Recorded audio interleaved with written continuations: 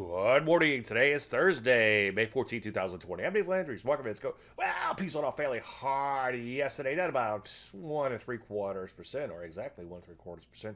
As you can see, they got thwarted at the top of their trading range. It looks like they're going to come down and test the bottom of their range. Futures a little weak pre-market, so we could see that fairly soon. As you can see, though, sideways mostly as of late, and as I've been saying quite a bit, still is a big picture retrace rally look to them. Take a look at the weekly moving average. We still have a sell signal in place here. I'll give you the parameters on all that later today in the chart so I hope to see you there. Go to davelandry.com to register. Take a look at the NASDAQ. Big picture retracement happening there. Very overbought.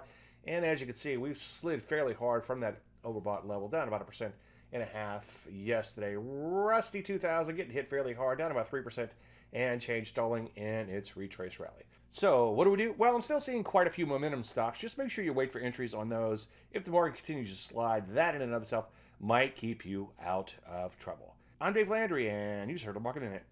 See you at the chart show.